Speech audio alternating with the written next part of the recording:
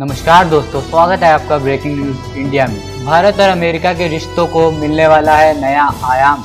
भारत और अमेरिका की साझेदारी अब होगी और मज़बूत। अमेरिका ने की भारत की पैरवी। अमेरिका भारत को बनाने जा रहा है नाटो सदस्य। भारत और अमेरिका के रिश्तों में अब एक अलग ही गर्मजोशी देखने को मिलती है। पिछले कुछ समय में अमेरिका एक अच्छे दोस्त और एक अच्छे साझेदार के रूप में उभरा है। अब इसी साझेदारी को आगे बढ़ाने के लिए अमेरिका भारत को नाटो का सदस्य का दर्जा दे सकता है। अगर ऐसा होता है तो भारत अमेरिका के साथ बड़े बड़े रक्षा समझौते आसानी से कर सकता है। इससे भारत की सैन्य शक्ति भी बढ़ेगी। इससे पहले कि मैं आपको आगे की खबर बताऊँ, चैनल को सब्सक्राइब ज़रूर कर लीजिए, ताकि आगे आने वाली वीडियो की नोटिफिकेशन आपको मिलती रहे। खबरों के मुताबिक, अमेरिकी संसद में अमेरिकी सांसदों ने एक महत्वपूर्ण बिल पेश किया है, जो भारत और अमेरिका के रिश्तों के बीच में एक टर्निंग पॉइंट साबित हो सकता है। दरअसल, इस बिल के माध्यम से ये मांग की गई है कि भारत को भी नाटो संस्था का सदस्य बना लेना चाहिए। आपको बता दें, अमेरिकी संसद में इस बिल को अमेरिकी फॉरेन कम्युनिटी के वरिष्ठ सदस्य जॉय विल्सन ने पेश किया।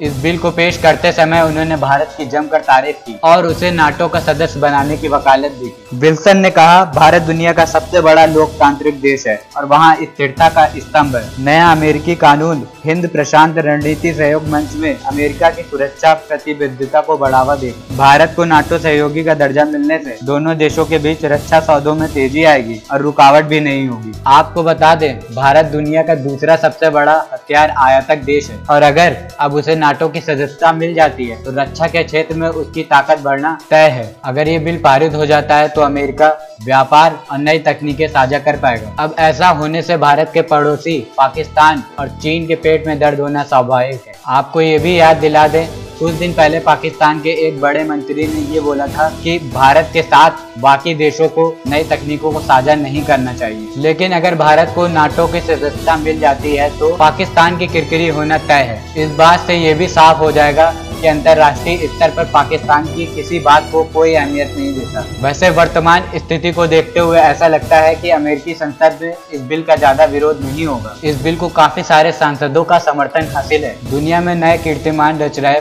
भारत के लिए अमेरिका का ये फैसला। ऐतिहासिक होगा। अभी तक इसराइल जापान, दक्षिण कोरिया, ऑस्ट्रेलिया और न्यूजीलैंड को ही नाटो सहयोगी का दर्जा मिला है। ऐसे में भारत का इस श्रेणी में आना कोई छोटी बात नहीं है। खबर अच्छी लगी हो तो वीडियो को लाइक करें, अपने विचार कमेंट में साझा करना ना भूलें और चैनल को सब्सक्राइब करना ना भूलें। धन्यवाद।